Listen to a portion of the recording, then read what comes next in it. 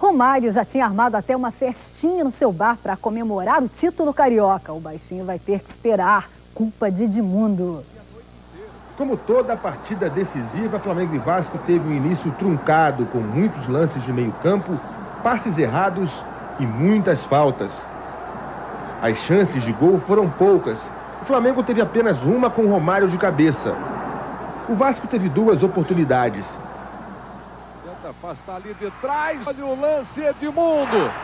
A chuva forte caiu sem parar, tornou o jogo mais feio. Alguns jogadores pareciam nervosos, como Felipe, que atingiu o adversário sem bola nesse lance.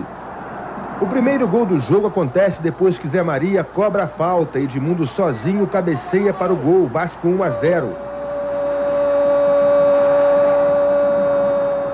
Logo depois, ele perde outra chance ao tentar encobrir Klemer. O Flamengo tenta, tenta, mas esbarra no bloqueio vascaíno. Mas é Edmundo que usa a cabeça outra vez para definir o placar. Vasco, campeão da Taça Rio 2, Flamengo 0. E o Vasco vai para a disputa dos dois jogos finais com a vantagem de jogar por dois resultados iguais. Estou feliz, mas a gente não pode ficar eufórico porque é, ainda tem muita coisa pela frente, ainda tem duas partidas.